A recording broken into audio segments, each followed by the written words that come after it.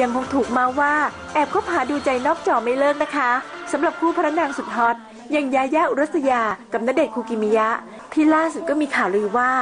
แอบคบกันเป็นแฟนอีกละรอกโดนเมาส์แบบเนี้ยยาย่าก็ออกมายืนยันถึงความสัมพันธ์กับหนุ่มณเดชน์อีกครั้งว่า สนิทในฐานะพี่น้องเออหนูว่าจริงๆแล้วมันก็ไม่น่าจะมีอะไรหรอกค่ะ น่าจะเป็นแบบความเข้าใจผิดกันมากกว่า อืม คุยกับพี่เขาไหม หนูหนูมันไม่ได้เจอนานพอสมควรเลยค่ะ ก็หนูก็ไม่รู้เรื่อง ลึกลึกอะไรอะไรยังไง แต่ก็มันไม่มีอะไรอยู่แล้ว อ่าวันนั้นที่เจอกันใช่ค่ะก็อืมไป Happy Birthday Surprise พี่ใหญ่ เป็นทีมเป็นทีม ซึ่งหนู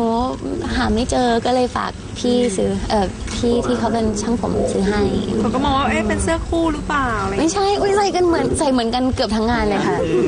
แต่มันมีรูปเราคู่ออกมาแค่สองคนไงเอ่ออันนั้นหนูขอเคลียร์นะคะ คือมันเป็นรูปตัดต่อค่ะ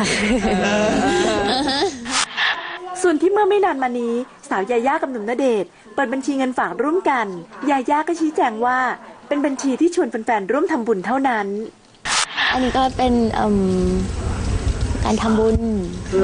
ที่ที่เอิ่มคุณแม่กับแม่แก้วได้ได้ได้ได้เอิ่ม